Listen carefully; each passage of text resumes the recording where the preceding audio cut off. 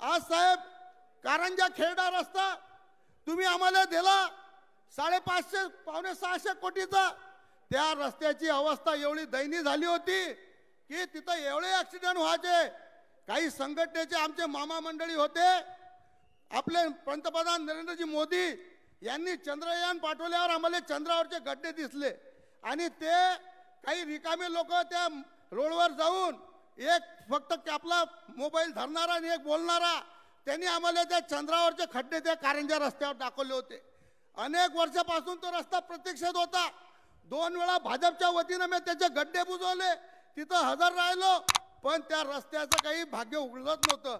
पण साहेब तुमच्यासारखा नेता मंत्री या देशामध्ये आहे हे आमचं भाग्य आहे. मतल्या मतल्या तुम्ही मंजूर केला कारण पाटणी साहेबाले आणि मले बी पाटणी साहेब माय वजन शंभर किलो आहे.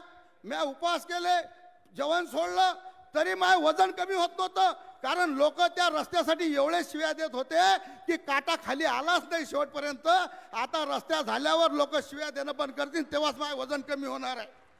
आपल्या सगळ्यांना माहीतच आहे की आज हा रस्ता झालाय एक माझ्या मतदारसंघात वनी रंबापूर आहे. तिथं आज मला विशेष रूपाने आनंद आहे. की हरीश पिंपळेंनी सांगितलं की कारंजापासून तर मूर्तिजापर्यंत येणाऱ्या रस्त्यावर किती गड्डे होते. चंद्रयानामध्ये जसे गड्डे दिसले तसे गड्डे लोकांनी पाहिले असा त्यांनी उल्लेख केला. आणि त्यांनी सांगितलं की लोकांच्या शिव्या खाऊ खाऊ माझं वजन कमी झालं.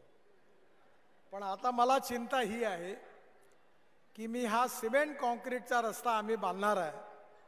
त्यामुळे पन्नास वर्ष याच्यावर गड्डे पडणार नाही. रस्ता चांगला होईल गड्डे पडणार नाही पण हरीश पिंपळेंचं वजन मात्र आता दीडशे किलो व्हायला नको. नाही तर चंद्र वाढतो कले कलेनी हरीश वाढतो किलो किलोनी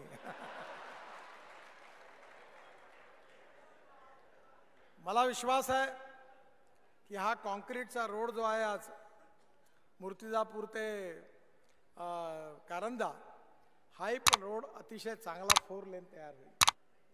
त्याचबरोबर अमरावतीपासून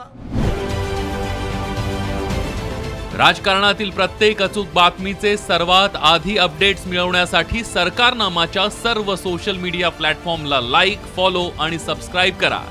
तसंच सर्व नोटिफिकेशनसाठी बेल आयकॉन प्रेस करायला विसरू नका.